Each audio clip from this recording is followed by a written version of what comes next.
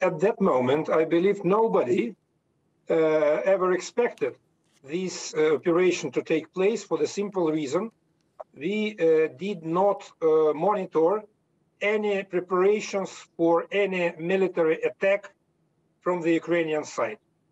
We started to uh, see that kind of preparations sometime in early February. More than that, we received reliable intelligence information uh, early in February that the plans to use military force against Donbass and further on against Crimea are scheduled uh, at the beginning of March, uh, to be more exact, exactly on the 8th of March. This is the information we received prior to the decision of President Putin to uh, start uh, the Russian special operation, which in uh, this context definitely was a response, definitely was a preemptive measure, definitely was a defensive a, a uh, operation in order to prevent uh, any any uh, bigger bloodshed. A, a response or a preemptive measure? Which one was it? Well, a preemptive measure, but uh, as you perfectly well know, and everybody hopefully knows, the uh, Ukrainian military operation against Donbass, against regions in southeastern Ukraine, did take place the previous eight years. The previous eight years, while the so-called Minsk agreements uh, were in force, and uh, the basic idea of these agreements was a political dialogue between the conflicting parts inside of Ukraine in order to reach a political agreement. Where, where do you think the conflict stands now?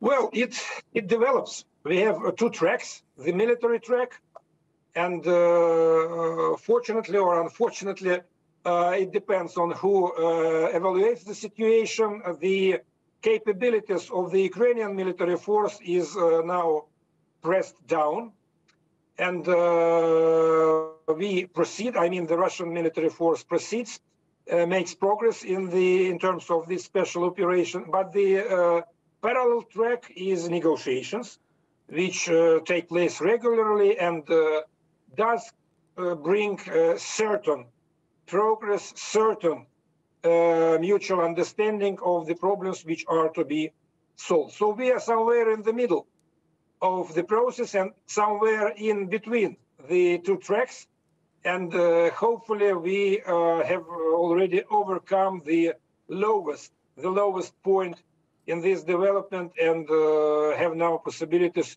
to reach the final solution whether in military terms or in political terms. It, it depends the choice depends 100% on how uh, kiev reacts on that and whether uh, the west supports kiev in denying any political compromises or motivates Kiev to accept political compromises with Russia.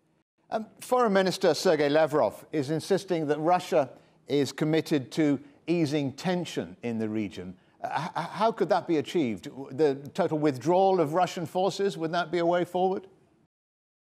No. Uh, you know, the decision to start the Russian uh, special operation was taken uh, taking into consideration, sorry, uh, for this, uh, taking into consideration the uh, well predictable perspectives. In case this operation wouldn't have taken place later, in some weeks, in some months, probably in some years, but we would be definitely have a big military conflict between Russia on one side and NATO countries using Ukraine as a weapon on the other side. And uh, the Russian military operation has created uh, possibilities, has created an option of uh, escaping this big war, which could have developed into a third world war. So to ease tensions means simply that we prevent this development to happen. We want to see Ukraine as an independent, sovereign, neutral, free from uh, military alliances country which does not create any military threats towards its neighbors, Russia included. Sergei Lavrov has also said that Russia remains committed to the continuing peace talks. Uh, have they moved forward at all uh, over the last few weeks? Yes, I believe that we have reached certain progress in some parts of our negotiations, uh, in mainly uh, talking about the future security status, security arrangements, uh, collective security uh, guarantees to Ukraine. We on both sides understand perfectly well that eventual entrance of Ukraine into NATO will uh, just create new problems for collective security in Europe, for national security of Ukraine. So this option is not valid any longer, and it is recognized by uh, by Kiev. They are ready to introduce certain amendments in their constitution if needed.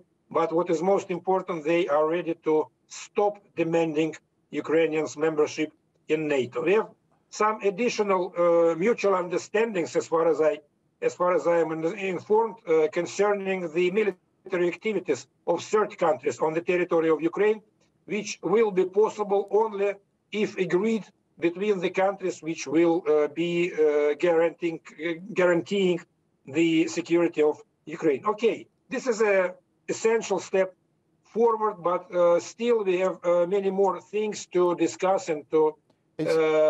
I'm sure that there are I'm sure there are many other things to discuss, but I wonder if the quickest way forward would be for President Putin to talk directly to President Zelensky.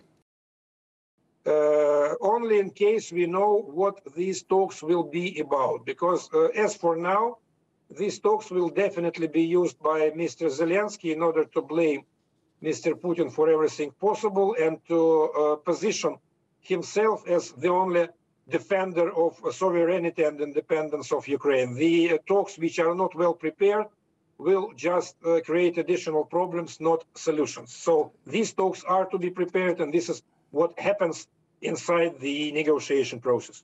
President Zelensky said it would be difficult to talk to President Putin at the moment because of the accusations of war crimes against the president. I, I, may talk about that in more details. It's not needed. But uh, believe me, it's absolutely difficult for us to continue to talk to Mr. Zelensky, uh, creating that kind of provocations, which uh, do, does not does not uh, assist the negotiation process at all. But nevertheless, negotiations continue, and hopefully they will, at the end, uh, give a result which will make it possible to, to meet personally. Uh, I mean, Mr. Uh, Putin and Mr. Zelensky. We are, are not there yet.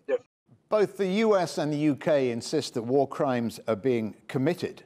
Um, the Kremlin is now saying that Europe will have to establish dialogue with Russia in the future.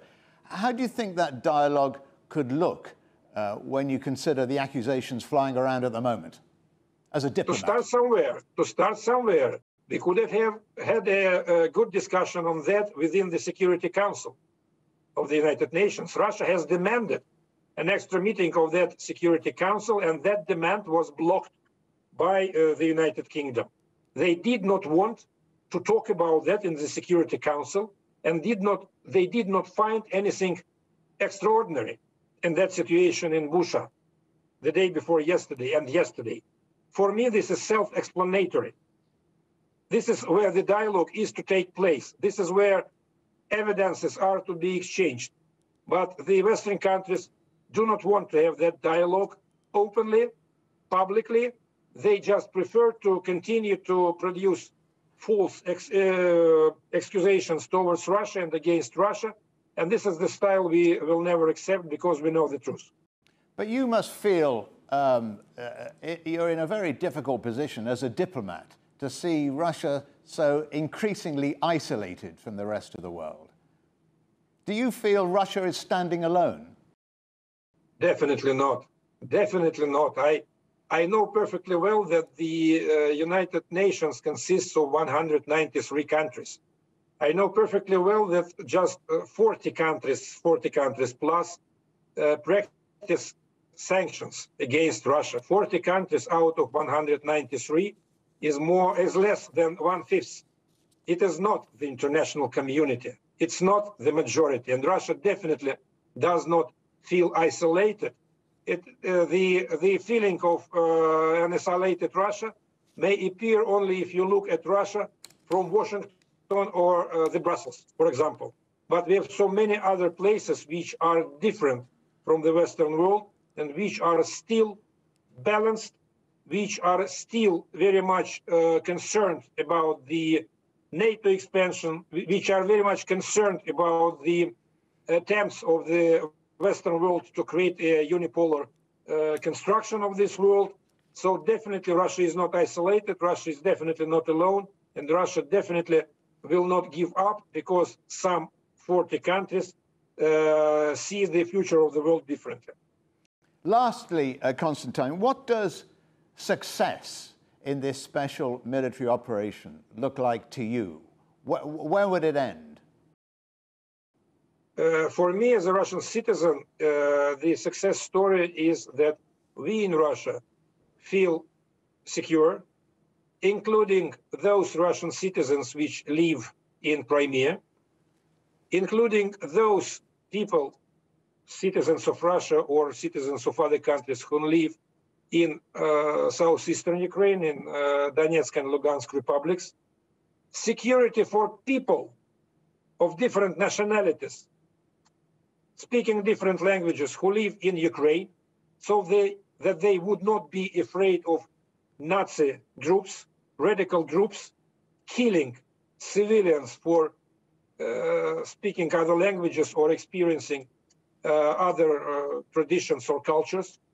I uh, think that the success story for whole Europe will be security arrangements, which we proposed, by the way, in December last year, which will be in inclusive, not exclusive, which will be equal for every European country, and uh, so that we will have a security arrangement which will be indivisible.